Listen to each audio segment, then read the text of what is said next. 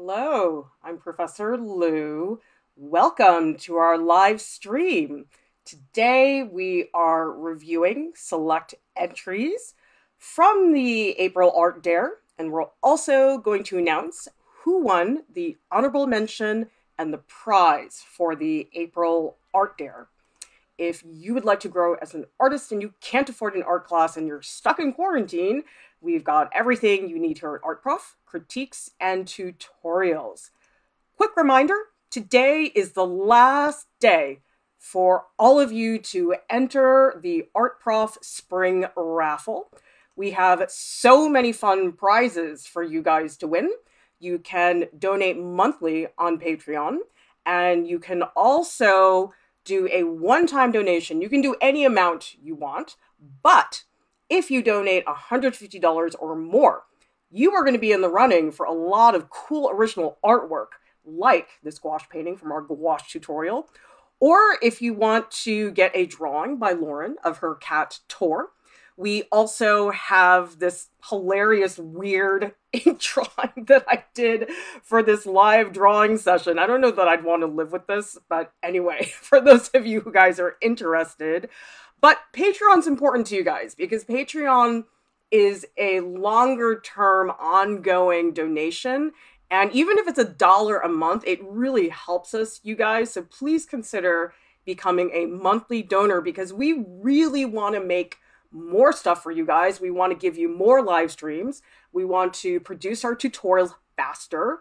We want to have more three person live streams, more live drawing streams. I love doing those, you guys. But right now, we're having some growing pains at Art Prof, to say the least. Our expanded reach has not caught up with our budget and therefore I am knee deep in spreadsheets and emails when really I need to be focusing on the content. So there's a limit to how much we can do. And if we get the budget for an expanded staff, that's going to mean more stuff for you guys. So think about donating. We would really appreciate it. And by the way, if you can't support us financially, spread the word. Post something on your Instagram story today. Tell people what the Art Prof family means to you. And that's another great way to help. And if you can't do that, massage my ego. That's always helpful. I will never say no to any of that. Okay, guys, let's take a look at some of the entries. And I think what was super cool, a lot of people did what we called the Art Dare Leap which was basically this idea of doing not just one artwork, which you could, by the way. A lot of people just did one artwork, and that's totally fine.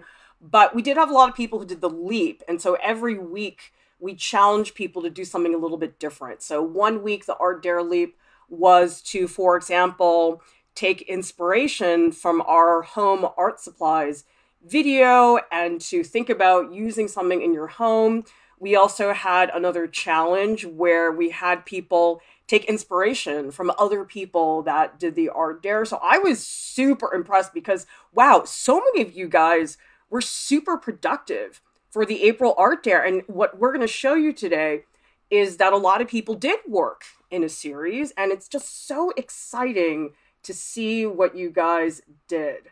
Okay. Ooh, I'm very excited. We got a lot of people here today in the chat who are in this stream today. Like I can see Hiba, I see, let's see, Nikoletta, I see Grim Hunny. Okay, very cool, you guys. I'm really happy to see that you're all here. And by the way, check out the April Art Dare page on artprof.org because you can get way more information about the artists on that page. You can read statements, you can get to their links, you can see the images. We do have links listed in the video description below, but there's way more to look at on this page, and it's just really nice to see everything in one place. Oh, cool, Vicky, you're here. Very exciting because we're going to show your work. And thank you, Amaris and Gina, for your super chats. We really appreciate your support. Okay, let's take a look at the first artist we're going to look at is Adira Jenner from the US. And Adira did four pieces, and they're all really different from each other totally different theme. And I think that's a great way to experiment. And so this is a piece about growing up in a hoarding household and having a lot of unwanted things. And we also have this second piece, which is a really cool mixed media piece. There's paper, there's drawing, there's bubble wrap. It's a really, really great mixed media piece. And this particular piece was this image of a fish feeling helpless at home, really feeling like there's a lack of oxygen. And I think you can really see that, especially the bubble wrap, I think really does that for me, that lack of breathing. And I think people do feel that way right now. I think that that's a natural reaction. I know I am getting mega cabin fever and I have to step outside, otherwise, I go a little bit crazy. And so, tell me in the chat, you guys, how are you doing in the quarantine? Because we're at a funny place, at least in the US. In the US, it's a little bit different because the timing wasn't exactly the same. But I have now been in the lockdown for almost maybe a little bit more than two months. And it's an odd time because we're not having that abrupt shift that we had earlier, but we're starting to sort of settle into a routine, but things still feel really strange. So tell me in the chat, how are you doing? How is your experience at home in the quarantine? How is that impacting you? And I just love seeing how other people approached it.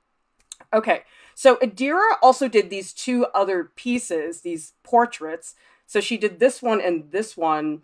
And this is her thinking about home as being with her husband. She took inspiration from a song by Pink Floyd called Wish You Were Here. And there's a quote from the song, which is going over the same old ground, but have we found the same old fears year after year? And Adira really wanted to talk about her fear and anxiety about how people in higher positions right now are not able to learn from the past and they're they're not doing what they should be doing based on that experience. I mean, guys, isn't this incredible the diversity? I mean, even these two, it's the same theme of Adira with her husband, but there's such different emotions. Like to me, this one is really bright and lively, and there's this incredible surge of energy. And this one's so delicate. I mean, the figures are barely there, you hardly see them. They emerge almost like ghosts, but there's such a lovely quality to this that I really, really enjoy. Okay, let's take a look at Carlotta, who is from Germany. And so Carlotta did these two pieces. So we have this acrylic piece, and we also have this other piece in oil pastel, although there is also sandwich wrap, which has been placed around a canvas. So let's take a look at what Carlotta was thinking about. So this is an image of Carlotta's parents' kitchen because right now Carlotta is between her parents' house and also the dormitory at her university. And so she's talking about this kitchen, the comfort and the simplicity of the memory, the clutter that was in the kitchen. And guys, great composition. Like this is really nicely done and it's challenging to do such a complicated interior space, I think a lot of people who I talk to at Art Prof are very intimidated by backgrounds. Backgrounds are not easy to do. And I just love that she tackled this. Oh, cool. Adira, you're here in the chat. Welcome. I'm so excited that some of you guys are here watching live. It's just so cool when you guys show up. Okay, and now the second piece by Carlotta has, let's see, it's got the sandwich wrap around it. And it's really about these fragments of color.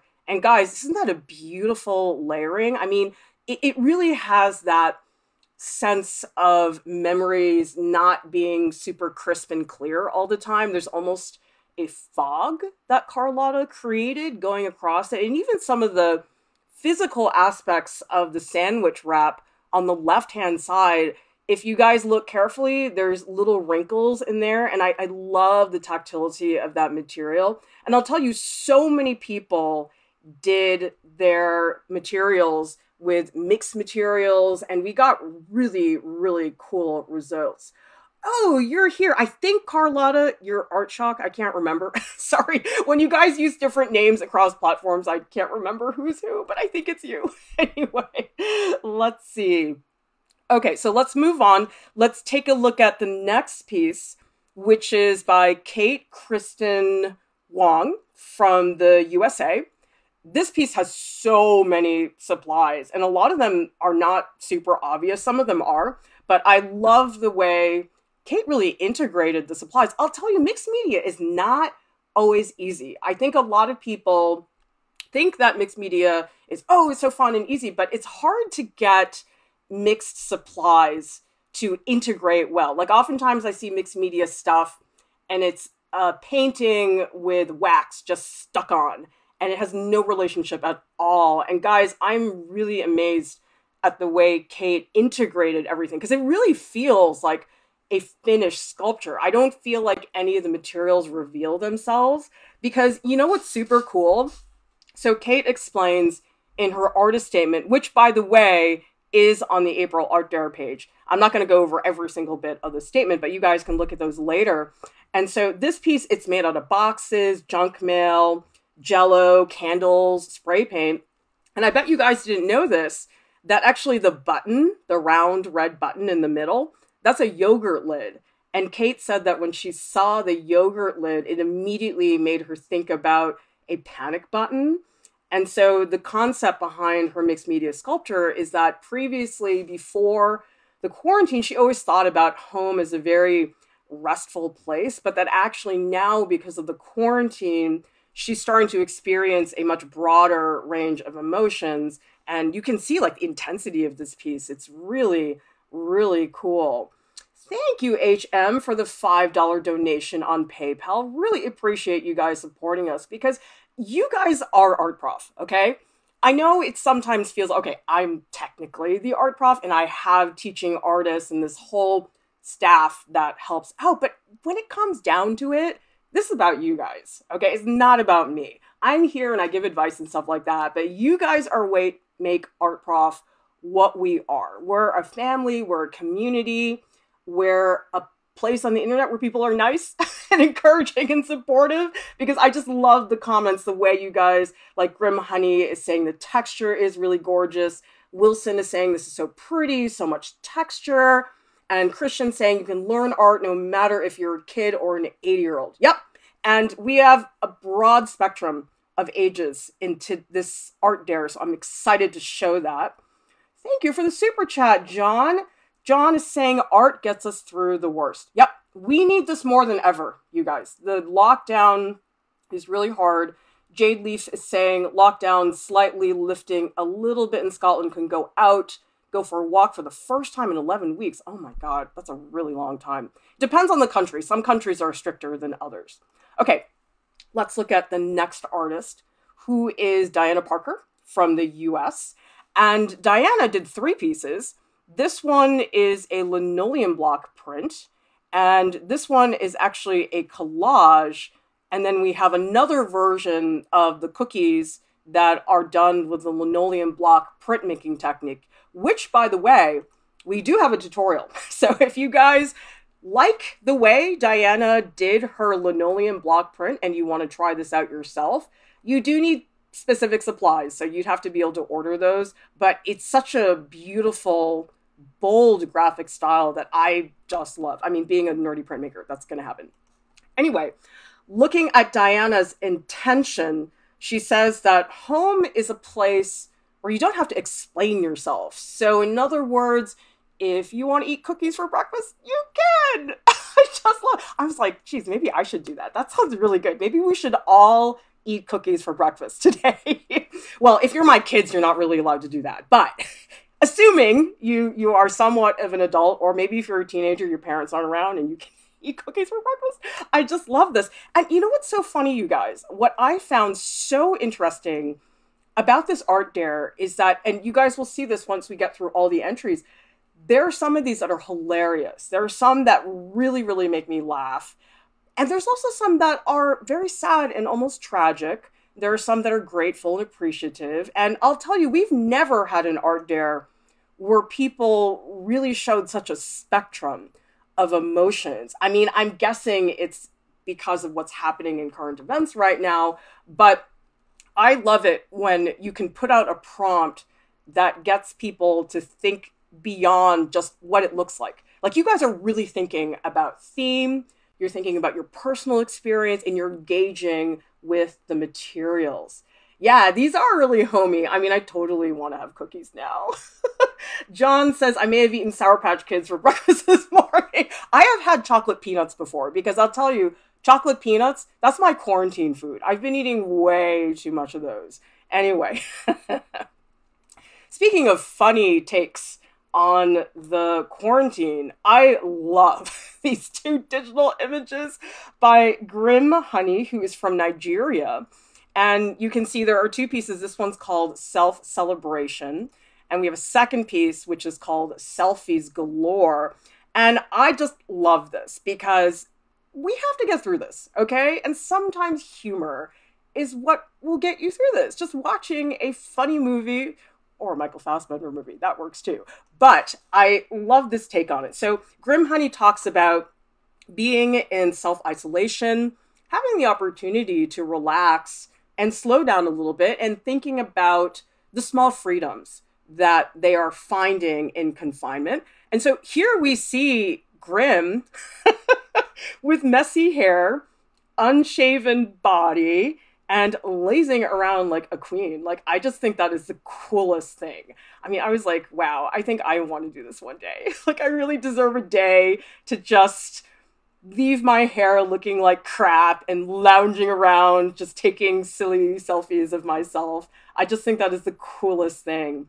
Yeah, Christian is saying you can make caricatures for newspapers. These look great. Yeah, I mean, these are wonderful, Grim. I don't know if you typically work this way, but I really think this is a style you might want to do again because you know what's really cool about this that I like? Okay, I know obviously we're looking at the figure and the figure is a big part of the story. But don't you guys feel like the background is important too? That I feel like I know something about this woman with the flowers that she's nested in. And I love these two oval shaped paintings that are on the side. Like the background to me, Grim, really, really helps this piece. You could have totally just done the figure and that would have been fine, but I just feel like it's so rich because I know something about this woman that is beyond her physical appearance. So this is really, really cool to see this. We have the next piece is by Vicky Zhang. Vicky is in Canada, and Vicky is eight years old, you guys. This is amazing to me that we have somebody who watches our videos, who's eight years old, and is participating in the art dares. Because honestly, when I started Art Prof, I really assumed that oh, maybe there'd be a few middle school kids that might like it, but I really thought our stuff seems a little bit too, I don't know, detail oriented for um, a really young kid. And I just thought, okay, well, high school is probably where we're really going to start to reach people. But Vicky's mom told me that she loves our videos, and I was just like, oh my god, like I'm not kidding, like I'm not an emotional person most of the time, but I showed this to our staff, and we were all like, we were all like getting very choked up seeing that we could reach somebody at this age, and she did this totally on her own, so it's really really cool. And Vicky was saying that she used to live in Asia with her family, but they moved to Canada, and so she thinks about home as being where her family is. And it's interesting how, for some people, home was a physical space, and for other people, it was objects. For other people, it was a person. And then for other people, it was just a group of people. So, really, really cool. And so, Vicky explains that because of the quarantine, obviously, she can't go to school right now, and she really wants the pandemic to end because right now she can't go out and play with her friends, and she really just wants to go back to school. So, very, very cool. All right, guys, let's go to Lizette Dörr, who is from Germany. By the way, Lizette, we totally did not remember to put you on this page. That was a glitch in communication with my staff. So, Lizette, if you're watching, that was not on purpose. We just need to clean up a couple things on the administrative side, but we will be adding you to the page later today. Okay, so let's look at Lizette. And Lizette, similarly to a lot of other people, did a really broad range. I mean, I feel like looking at Lizette's pieces, we almost could be looking at four artworks by four different artists. And honestly, guys, that is such a great way to expand your creative vocabulary as an artist because every time you guys work differently or you use a different media, it really is like learning another language. And I'll tell you, when I went to Europe, I was like, really, on average, everybody speaks four languages. I was like, oh my God, we're so lame in the US. Like, a lot of people in the US only speak English. And so I feel like, wow, how much bigger is your world? Tell me in the chat, by the way, because I know some of you guys are in Europe and you're in other countries. How many languages do you speak? What languages do you speak? Because I understand Taiwanese really well. My Mandarin, uh, not so great. I can sort of get by I used to speak Italian pretty well, but that was when I lived in Italy. So I am sort of horribly jealous of people that speak five languages fluently, like you guys do in Europe, which is really, really cool. So let's take a look at this is a beautiful sketch. It's so, I don't know, it, it makes me feel very comfortable. And this isn't even my dog. And so Lizette explains that this is her dog, Rex, and this is called My Personal King and that Rex is the most important person, well, not person, living being in Lizette's home. And let's look at the second piece, which is called Metamorphosing. And this piece really is about fear of the virus and about the change that would occur physically if you, for example, did get the virus. We also have this piece called Secrets, which is this concept of home as a refuge. And guys, I am so amazed by the texture in this. I mean, it's so tactile. I feel like I just want to like scoop those seeds out of that. That is just the coolest thing. And then we have this other pe- person, not person. I'm having trouble differentiating between animals and people today for some reason. So this is a piece. And you know what's so funny, you guys? Lizette was inspired by the same Pink Floyd song that Adira was inspired by. It's called I Wish You Were Here. And she's talking about how this image of the hens is demonstrating that home is where she's most happy. Is that funny that like two people on all different parts of the planet decided to think about the same song? I just think that is so cool. Oh my god, we have so many language. Oh, Slepnir says I'm not even fluent in English. We've got Bulgarian, French, German, Italian, we have Mandarin, Arabic, Turkish, German, Russian, Italian, Hindi. Oh my God, that's amazing, you guys. I, I just think that's incredible. Okay, let's take a look at the next artist who is Hiba Belkadi from Morocco. And so Hiba explains that in this drawing, which is with pastels and acrylic, that she used to live in Morocco, but now she's living in Paris and that in her home in Morocco, she used to make thrones and forts out of pillows and make stories out of it. And so she talks about how Morocco, oftentimes, the way it's seen or perceived or presented, that it's usually shown as a very poor place, that people tend to show more the hardships of Morocco. And so she really wanted to show the richness of the culture. And so this is actually an image of her old home back in Morocco. And she talks about how the culture. It's in the colors, it's in the food, it's in the meals. And I'll tell you, you really get that out of this piece. First of all, Hiba, oh my God, the three point perspective. This is really good, you guys. Like, so few people do three point perspective because number one, it's hard to understand. Number two, it's just more work. I mean, you have three points. it's much more than just doing one. And I, I love that perspective. I mean, it's really distorted. And it does have that almost surreal feeling that memories can have. And i do like that this piece it doesn't feel like it's happening right now. It really does feel like some version of a distorted memory. And i think memories can feel that way for a lot of people. Yeah cyber moon is saying love the pattern on the pillows the over exaggerated perspective.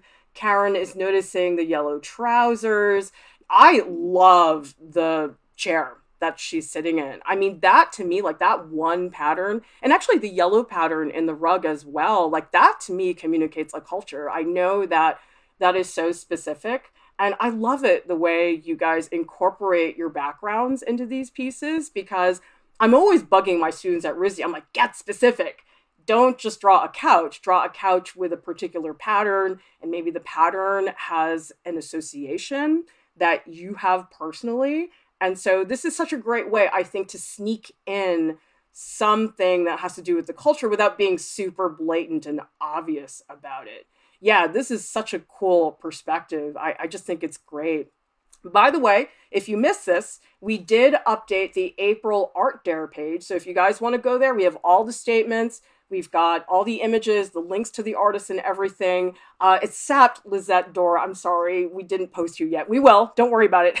it's just we're trying to work out some administrative things. Oh, sorry, Hiba. You're saying it's a table, not a rug. Oh, I get it now. You know what, Hiba? It's totally the perspective. I think it's just the perspective so weird and probably if you had shown like way zoomed out, we'd see it more, but it doesn't matter. Don't worry about it. You did a great job on the other areas. Okay, let's go to Jasmin.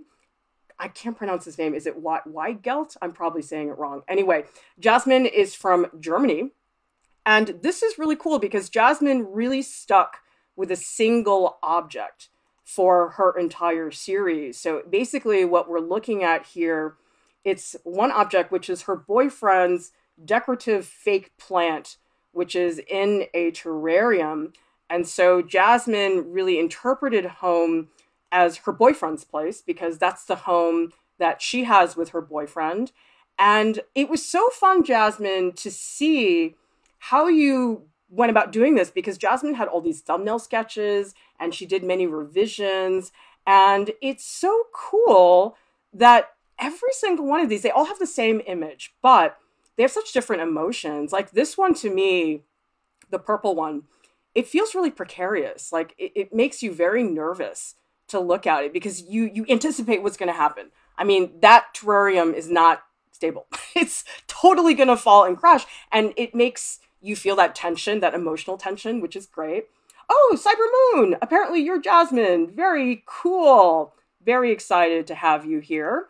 And then this one, which which is done by the way with gouache and turmeric, very cool application of this yellow. It's so luminous. And this one to me feels very optimistic. Maybe these are the moments where you feel like, okay, I can get through this. This is going to be okay. Because I think that a lot of us right now, I mean, I'm just speaking for myself, fluctuate between optimism and pessimism. And I really like that this series shows that range. Like, this is another one where you have the text that says home is where the heart is. And this one's so unusual. Like, don't you guys think it's such a great choice? You can barely see the terrarium. I mean, it's almost not there. It's just a little slice in the lower right hand corner. And there's just a little indication of the plant that's in there. But like the space feels so vast and it feels really, really empty. And so it, it's just such a different mood than the others. Yeah, people are saying in the chat, Mariama, amazing background. Art Shock says the background in the one that is falling is amazing. Yeah, and you know something, you guys, the backgrounds in Jasmin's paintings, they're not complicated, okay? A lot of people, I think, are under the assumption that if you make a background, oh, it's got to be tables and chairs and shelves, and it doesn't. I mean, I feel like the space that Jasmin created it's really gigantic. Like this one, especially, and a lot of it has to do with the placement of the terrarium. Because I think you guys probably heard me say a lot of times, like, take your object out of the middle of the page because that's everybody's first impulse. If you're not thinking about composition, you just stick it in the middle. And this one, the fact that Jasmin has stuck it all the way up in the upper left hand corner, it opens up that space and the rest of the piece. And beautiful gouache technique. I mean, I think the gouache it's so beautiful and luscious, but also pretty thin. I mean, the gouache to me, it doesn't look that opaque, but I think definitely, Jasmin, you're really reaping the rewards of the material. Vaporistic is saying turmeric. I wish you'd point out some notable household mediums being used that is a significant trait of the April art dare and makes it more unique. Really nice. Yeah, a lot of people. So, one of the parts of the art dare leap was to go to the Art Dare page, which shows this massive chart of art supplies. And it's really fun because you can draw with so many different things that you never even thought about. Like, did you guys know that Kool Aid makes really awesome watercolor. Like it's really bright pigment. It's so, so cool.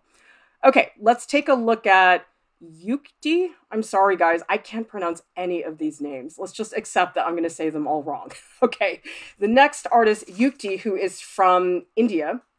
And this is a representation of four fabrics from Yukti's home in India. And again, oh my God, these are all Indian words. I cannot say any of these. Angi, which is a blouse, which traveled all over, and I guess it's really, really old, like 200 years or something like that. And then there's a shawl, Odhani, which was owned by her great grandmother. And then you can see there's a belt, which is a representation of her mother. It is a showing of how her mother transitioned from her maiden home in Delhi but then eventually now is living in a married house in Mumbai. So it's about that journey from Delhi to Mumbai. And then at the bottom, we have lehenga, which is a skirt, and that belongs to her. And so you guys should read her statement because it's in the Art Dare page. And I'm only giving you guys like a little tiny piece of what she wrote, but it's a really nice statement. And she explains in greater detail what the piece is about. And so she talks about how she's thinking about these objects, these heirlooms, as visual archives, and how when you move from home to home, in that transport, there is this physical damage that happens to your objects. I mean, things get old and worn. Sometimes there's holes in the clothing or something like that. But also for Yukti, that wear and tear that happens to the clothing, she really was thinking about that as the emotional damage that can occur when you move places. And I just think this is such an elegant piece. And you know something, there's so many smart decisions in here. I feel like what Yukti really did well, she didn't just look at the objects as objects. I really think that I'm, I suspect, I mean, I could be wrong, but I feel like Yukti really was thinking about the color relationships how the objects relate to each other. Because you guys will hear me talk about that a lot, how relationships matter more than the individual pieces. And the way that the red object, it just slides down like it has this gorgeous elegance. But then you contrast that against the light purple object at the top, and that object feels so awkward and out of place to me. It, it feels like it's not supposed to be there. And I wonder if that's maybe almost a commentary on what's going on with the emotional damage. Baparistic is saying somehow the background, which is not plain white, adds so much more to the narrative. That's a really good point, Baparistic, because you know something? 3D artwork is so problematic for people because the experience of seeing it in person, it's so different. I mean, it depends on the piece, but you don't get any of that tactile sensation when you actually see it in person. And guys, just picture if this was on a black background, you would not be looking at it the same way because the color relationships would totally change. Like that skirt at the bottom being on that lighter white background, it really feels ethereal. I mean, it almost feels like a ghost to me. And if you took that skirt and you put it on a black background, it would stick out too much. And all the balances and all the relationships of the colors and the forms would be really, really different. Adira is saying the shawl looks like it's failing. Interesting. Yeah, there's a real emotional weight to these objects. And Mariama is saying it's something different and very cultural that creates softness to this photograph. And Art Chalk says this has so many perspectives as a concept and also looks so engaging. Thank you so much, you guys, for your comments, by the way, because I know a lot of you guys who are in the stream are in the chat. And when you guys support each other, that's so important because I obviously am giving my opinion on these pieces, but I've had people we have featured in streams say to me, I got so much out of what other people said to me about my artwork. And I feel that that was a big part of the experience. So when you guys type things in the chat, you're helping everybody. Okay. It's, it's really great to see that support. Okay. Now we're going to look at Logan Moris from the US. And Logan, like a lot of other people, did a very broad range of different images, different media. So we have a, what I'm guessing is a self portrait. It's called My Confidence. We have this one, another section of the Art Dare Leap was to take inspiration from some of the other Art Dare artists and to see what they were doing and have that inspire you. And you can see the whole bunch of people in here that Logan was looking at. And really, that is a great way to learn, you guys. Look at what other people are doing. And I like the art dare because we're all doing the same thing. Like we're all thinking about the same thing. But the thing is, the way we actually express it, the way we think about it is totally different. And I get really inspired seeing all the different variations. I mean, the work in the stream is so diverse even other streams where you'd think it would be diverse, sometimes it isn't because people are using the same media. And so it just naturally looks more similar. But this is probably one of the most diverse streams. And it was the highest participation. We had over 100 people submit. So we were just, oh my God, so excited to see that. So let's talk about Logan's piece. This first piece is drawn with highlighters. And Logan explains that these are their mother's favorite flower, tulips. And the second piece is about being confident in themselves at home. And so this is a portrait where they are wearing makeup because they, they feel that they can be confident wearing makeup in their home. So that confidence, I think, is a part of their lives. And then we looked at this one, which was getting the inspiration. And I thought it was really interesting that Logan talked in their statement about how home is not always a safe place for everybody. And I know that is more typical that people think of home as a safe place, but it's not safe for everybody. And Logan explains in the statement that they can't really imagine what that's like. And so I think you can see this is a commentary on that. I mean, that really, that chokehold that the hand has on that face. And then, you know what I think is a great choice that Logan made? There's no shoulders and there's no neck. Because I feel like if it had a shoulders and neck, it would feel more like they were trying to draw a real person. But this feels more like a symbol of something. And and so cool to see. This is Posca pens, but if you go back and you look at the digital piece, these two are actually somewhat similar. And so it's really cool to see how some of the stylistic choices in this one definitely translated in this one. Yeah, Fruit Lover saying, Love this. It's so poetic. Nikoletta saying it's a powerful image. You can't easily forget it. Yeah, it, this is a bold image. It really almost smacks you in the face, but I think in a good way. I mean, that's a compliment. Sometimes I say stuff like that, and people are like, no. I'm like, no, I mean it as a good thing. So, anyway, Let's take a look at Nikoletta T, who is live in the chat with us right now. Thank you for joining us. Nikoletta is from Greece. And wow, we have two very different pieces from Nikoletta. So this one is done with pencil and digital. And Nikoletta, I believe that you had a more complicated process than that. So I can't really verbalize it, but maybe you can tell people in the chat. And if you look at the second image that Nikoletta did, oh my God, you guys, this was such a process. So basically, Nikoletta looked at our home art supplies chart. And Nikoletta, you should tell everybody what you use because you bought cabbage and you squeezed it and you boiled things. And I think you had beet at one point. You had so many supplies that you used to make the colors, and you actually made your own cut paper collage, which is different because I think a lot of people, when they make collage, they think about magazines. But you can see all the colors and the shapes that Nikoletta has in this piece. They're all from her playing with the home art supplies.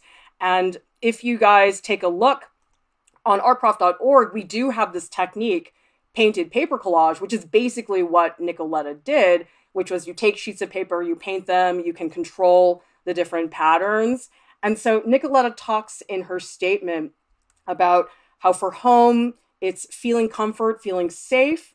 And wow, is this true, Nikoletta, that you um, moved 20 times? I was looking at that. I was like, oh my God, that's a lot. And she's talking about how books to her are really essential, a big part of the home. And I, I love the surreal feeling of this, guys. The color scheme is so specific and the dynamic quality of the books. It, it's just got a great atmosphere. And oh my God, you guys, the couch on the left. I know it's easy to look at the books because the books are brighter and you're going to be more attracted to them. But on the left hand side, oh my God, that couch is so three dimensional. Like it really, you believe it as an object. Veronica is saying, How do I join and do these artworks as well? So, what I would do is you want to head over to artprof.org. And if you click on the link that says Art Dares, we actually already have posted the one for June. So if you guys want a little preview, you can go in there. But we are going to have a video that announces how to do that. But go there and we have information. You can also sign up for the email list. So for the email list, what we do is we send out one email once a month, the usually the second day of the month, and then you can get a notification for how to do that. Okay, let's let's see. Oh, Nikoletta says she used coffee, red cabbage, turmeric, red Easter egg dye. Good for you, Nikoletta. I mean, you worked so hard on this piece and you considered everything. It's just a really finished, lovely artwork. Okay, let's look at Millie. I don't know if I'm saying this right. Millie Santos from Puerto Rico. And like a lot of other people, oh my God, Millie, you were so productive and every single one of these pieces, as I see, they're so different.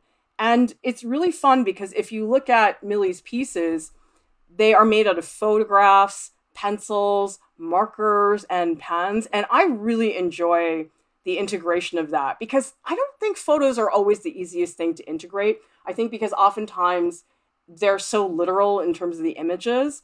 But like, I love this one made with turmeric and beets and this one's such a different feeling. And yet they do all have a mysterious quality to them that I think gets you very curious. Like, like these are not pieces that you understand immediately, although this one maybe. American vodka, my new home. I mean, I suppose part of that is the text really explaining that to us. But also, this one, the way the photographs are lined up, and then this jumble of shapes over here on the left hand side.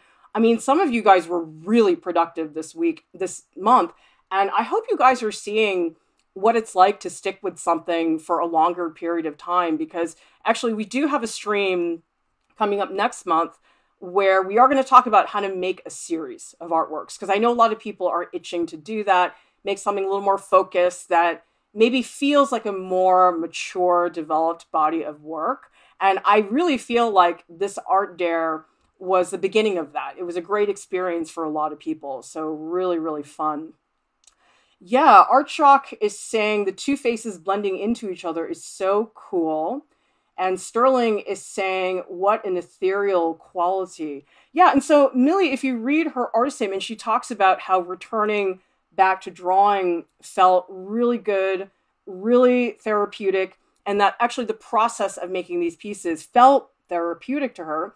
And so she was thinking about home as really the people in her personal networks and thinking about really projecting herself as a human, any human, an individual who is existing during the pandemic.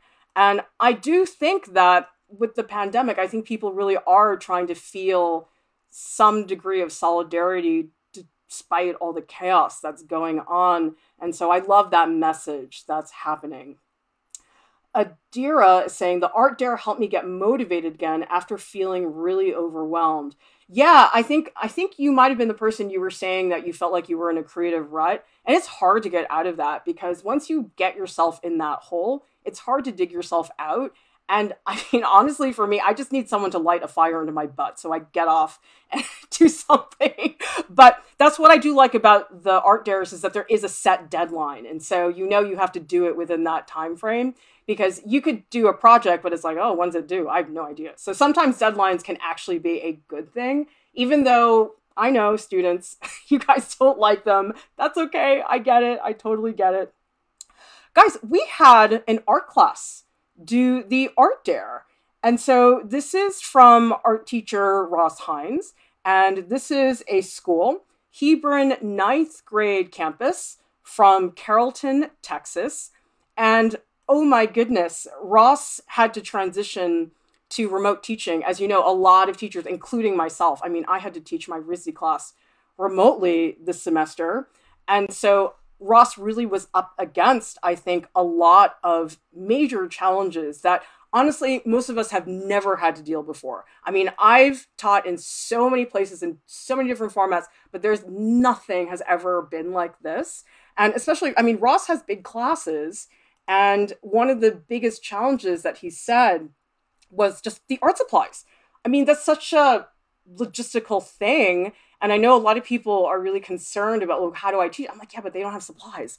so what do you do if you don't have the supplies? And I think that a lot of people have been trying out a lot of different options and it, there really is not any clear solution to any of that.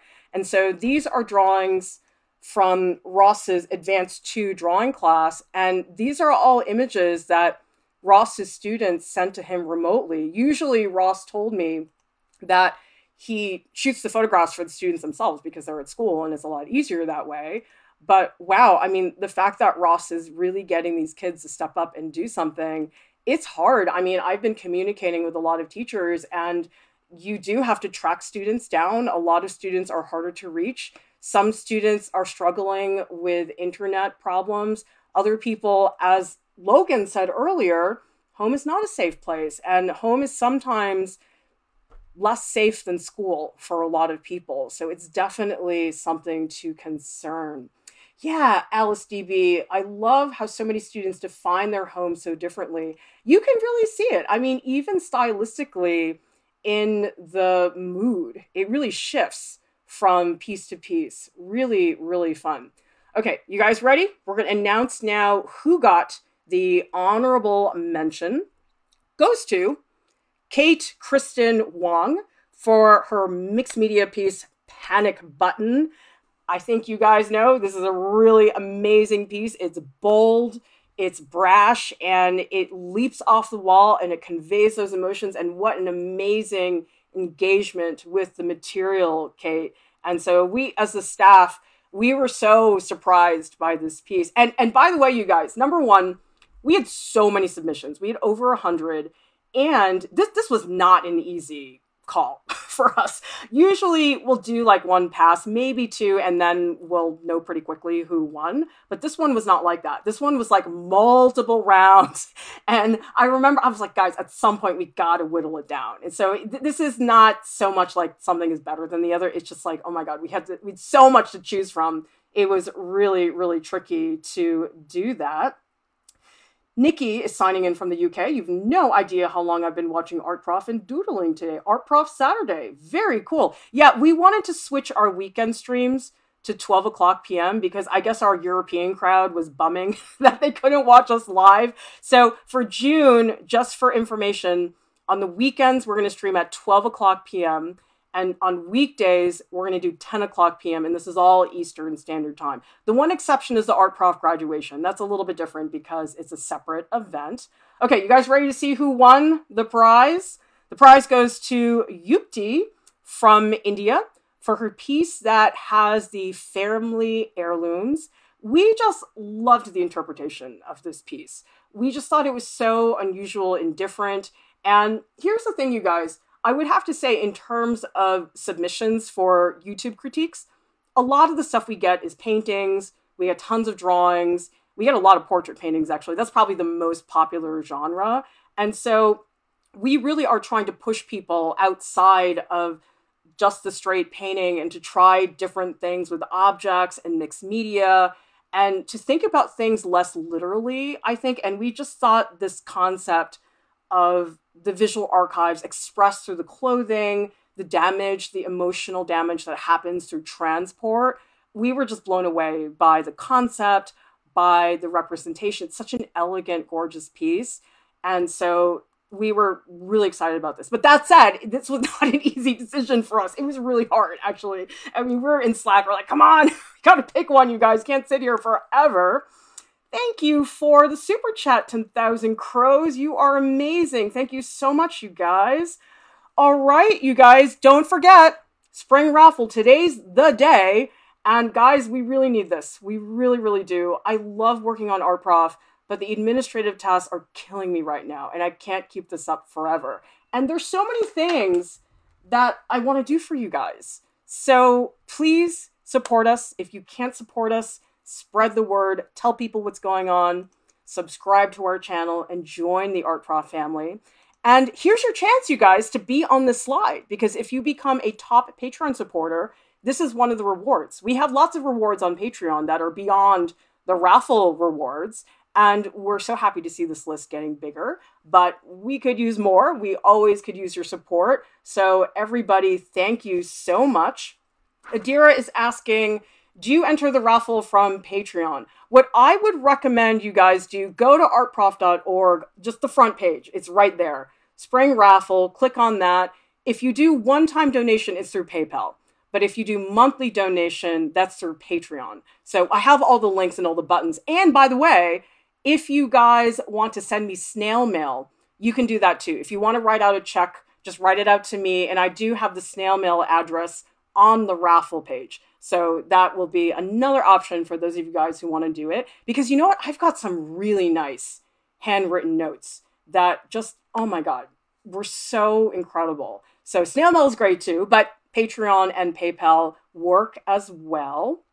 And so, anyway, guys, thank you so much. Please think about the raffle. Thank you to all the wonderful artists who participated in the art dare, not just the people that were in this video, but just anybody who participates. It's a community, it's a place for us to connect with each other. Everybody, please stay safe.